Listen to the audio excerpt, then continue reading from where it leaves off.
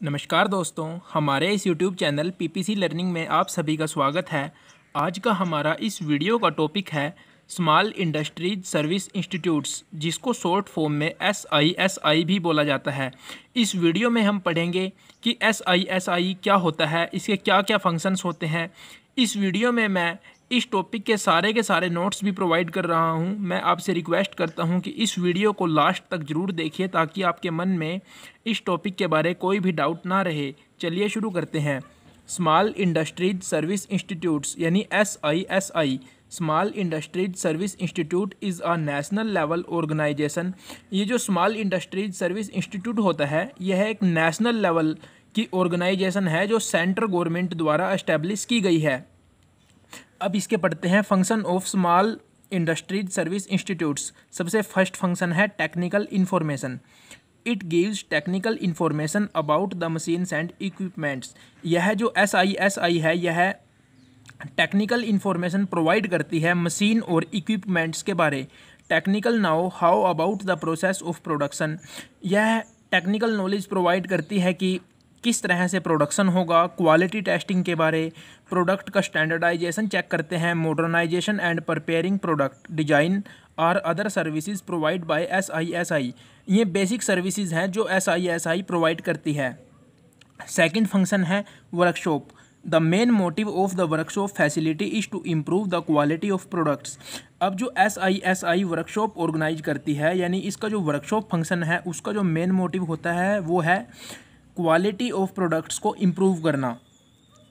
Third point है technical training जिसको भी हम सिंपली डिफाइन कर सकते हैं कि S I S I provides technical training to the workers employed in the various industrial units as well as entrepreneurs in order to improve the standards of quality and labour जो S I S I है, वो technical training provide करती है। बहुत से workers को जो किसी न किसी इंडस्ट्रियल यूनिट में काम करते हैं और उन वर्कर्स के साथ साथ जो नए ओंटरप्रेन्योर्स होते हैं, उनको भी टेक्निकल ट्रेनिंग प्रोवाइड करती है कि किस तरह से जो प्रोडक्ट है, उनकी स्टैंडर्ड है प्रोडक्ट्स का, उसकी क्वालिटी को किस तरह से इम्प्रूव किया जाए, उसको किस तरह से और बेहतर बनाया जाए और किस तरह से लेबर की टेक्निकल नॉलेज है, उसको इम्प्रूव किया जाए।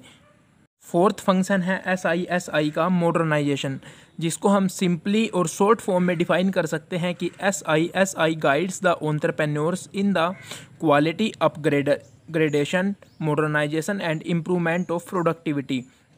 इसको भी हम सिंपली समझ सकते हैं कि जो मॉडर्नाइजेशन है, जो एस आई एस आई है, वो गाइड करती है ऑन्टरप्रेन्योर को, यानी उनको सुझाव देती है, उनकी हर काम में मदद करती है कि किस तरह से जो क्वालिटी है, उसको अपग्रेड किया जाए, किस तरह से मॉडर्नाइजेशन किया जाए यूनिट को, और किस तरह से सबसे मेन पॉइंट तो है कि प्रोडक्टिविटी है जो, उसको किस तरह से इम्प्रूव किया जाए।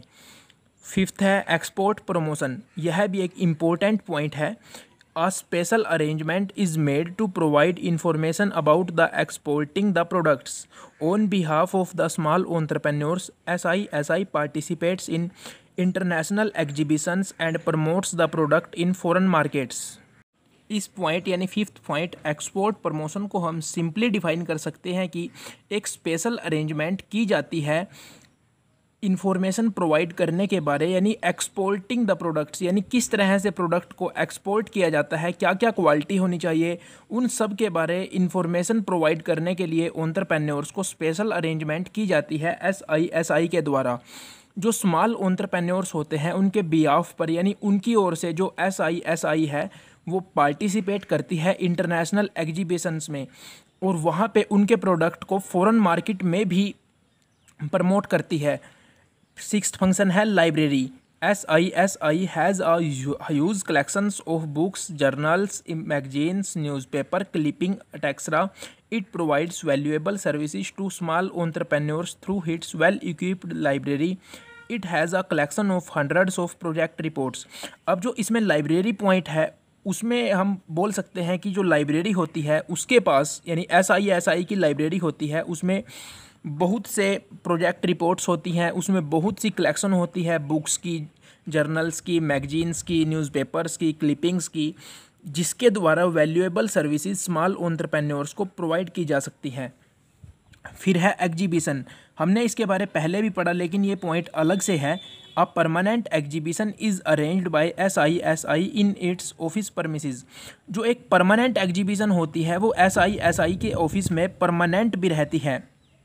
यानी एक परमानेंट एग्जीबिशन एक परमानेंट प्रदर्शनी। भी एस आई एस आई की ऑफ़िस में चलती रहती है। S I S I exhibits products manufactured by small entrepreneurs thus S I S I provide services to small entrepreneurs यानी जो उस प्रदर्शनी होती है, उसमें जो एस आई एस आई है, वो प्रमोट करती है उन प्रोडक्ट्स को जो स्मॉल ऑन्टरप्रेन्योर्स द्वारा बनाए गए होते हैं मैनुफैक्चर किए गए होते हैं। और इस तरह से यह बहुत वैल्यूएबल है स्मॉल ऑन्टरप्रेन्योर्स के लिए। एट्थ पॉइंट है development the market S I acts as a link between the tiny and small industries and the medium and large scale industries जो एस आई एस आई है वह एक link का काम करती है टीनी और स्मॉल इंडस्ट्रीज़ के बीच और मीडियम और लार्ज स्केल इंडस्ट्रीज़ के बीच. It provides information about the products and the services of small entrepreneurs to the requirement of large industries यह स्मॉल ऑन्टरप्रेन्योर्स को उन प्रोडक्ट की जानकारी प्रोवाइड करती है जिनकी रिक्वायरमेंट लार्ज इंडस्ट्रीज़ में होती है। यानी अब लार्ज इंडस्ट्रीज़ में भी बहुत से ऐसे प्रोडक्ट होते हैं जिनको स्मॉल ऑन्टरप्रेन्योर्स प्रोवाइड करते हैं। Thus it bridge the small industries with large industries and tries to develop the market और इस तरह से हम कह सकते हैं कि यह एक ब्रिज का काम करती है स्मॉल इंडस्ट्रीज़ और लार्ज इंडस्ट्रीज़ के बीच। और जो स्मॉल ऑन्टरप्रेन्योर्स हैं, उनके लिए, उनकी मार्केट का डेवलप करने का बहुत अच्छे से काम करती है। और इन सभी पॉइंट को हम function of S I S I में लिख सकते हैं। वीडियो को पूरा देखने के लिए आप सभी का धन्यवाद। अगर आपको वीडियो अच्छी लगी हो तो प्लीज़ वीडियो को लाइक कीजिए, अपने दोस्तों के साथ शेयर कीजिए। और अगर आपने अभी तक चैनल को सब्सक्राइब नहीं किया तो प्लीज़ चैनल को सब्सक्राइब कर लीजिए। थैंक यू मिलते हैं अगली वीडियो में।